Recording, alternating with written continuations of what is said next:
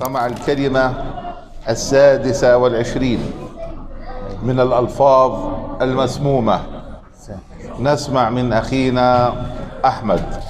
السادس والعشرون قولهم فخل الله يؤخذك نعم هذه العبارة والعياذ بالله نسمعها من بعض الناس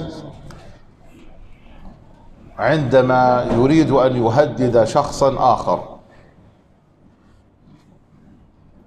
فيقولها وناقل الكفر ليس بكافر. بخلي الله يؤخذك طبعا لفظ الجلالة انسى انه الخطأ الله. ما هي المصيبة عندما ينطق بمثل هذه الكلمة؟ نسمع.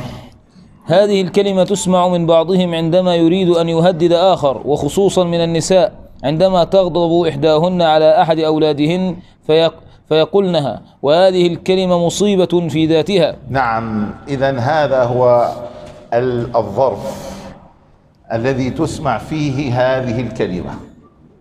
عندما يهدد أحدهم آخر أو امرأة تهدد ابنها. أين تكمن هذه المصيبة؟ نسمع. تكمن هذه المصيبة في غفلة ناطق هذه الكلمة عن معناها ومدلولها. فإن مدلولها إن الله جل في علاه تحت أمر هذا الناطق والعياذ بالله مع أن الأمر مقرر ولا يحتاج إلى بيان أن جميع الخلق تحت أمر الله. كما قال تعالى إنما أمره إذا أراد شيئا أن يقول له كن فيكون. نعم إذا هذه الكلمة مفادها والعياذ بالله وهو لا يقصد هذا الشخص هذا المعنى. وهي ماذا؟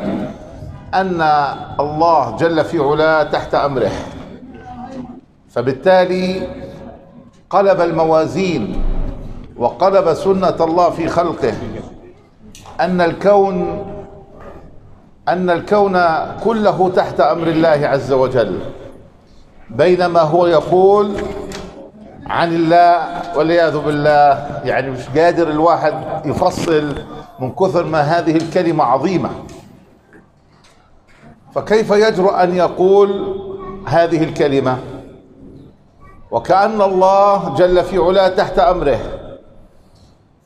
والعكس هو الصحيح إنما أمره إذا أراد شيئا أن يقول له كن فيكون. كن فيكون. فكيف تهدد شخصا بهذا بهذه العبارة الباطلة؟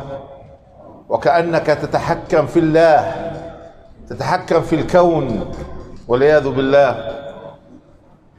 لو قصد هذه العبارة فما هو الحكم عليه؟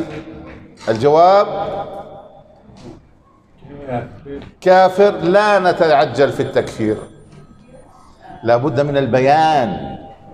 إياك أن تتعجل فتقول عن فلان كافر لأنه لابد من توفر الشروط وانتفاء الموانع.